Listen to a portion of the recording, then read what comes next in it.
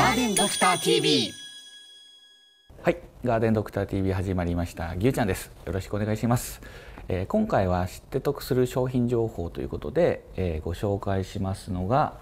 はい、こちらですね。えーカメムシアタッカー EX と言いますカメムシの殺虫剤になります。家庭園芸家庭菜園などで、えー植物が加害されているような場合ですねカメムシがいいる場合には、えー園芸用薬剤で退治をする必要がございます。例えば、えーベニカベジフルスプレーとかですねベニカ水溶剤とかあとはベニカ V フレッシュスプレーなんかもそうですね、まあ、カメムシで登録のある、え園芸用の薬剤いろいろございますので植物加害されている時にはそちらをお使いいただきたいのですが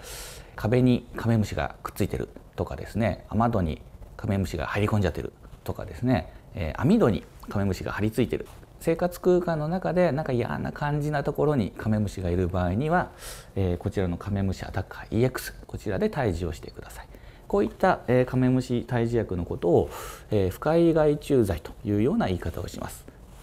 そんなカメムシなんですが、えー通常ですと春先、えーそして秋口にですね、えー家庭園芸家庭菜園お庭周りでは見かけることがあるんですけれども、えー時たま時折ですね大発生して夏に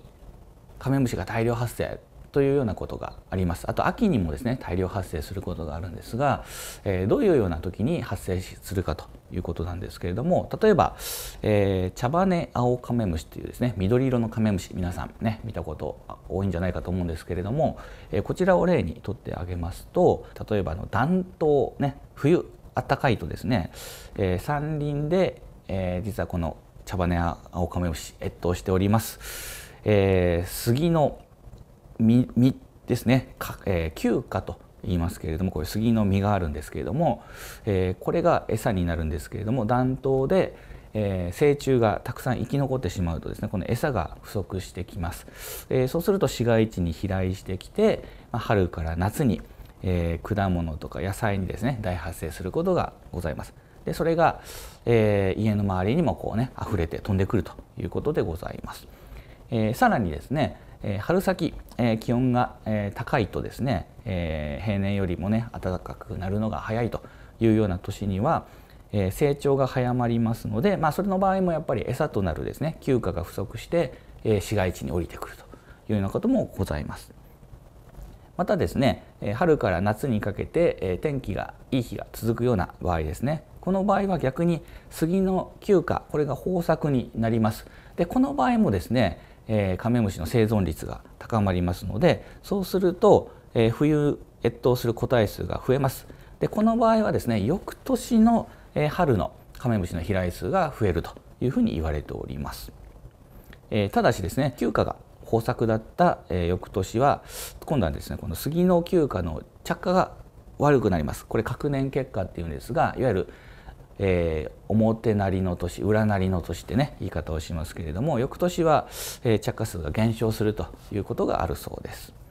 えーさらにですね、えー夏から秋にかけて、えーと瞬間的に、えー大発生するケースとして、まあ、これは結構稀なんですが、えー台風ですね、えー台風の直撃で山林の、まあ、杉がこうバサバサっとねされて休暇が減少してしまいますと、まあ、餌が足りなくなってくると、まあ、餌を求めて山林から、ま、市街地に飛来するという場合もあるそうです。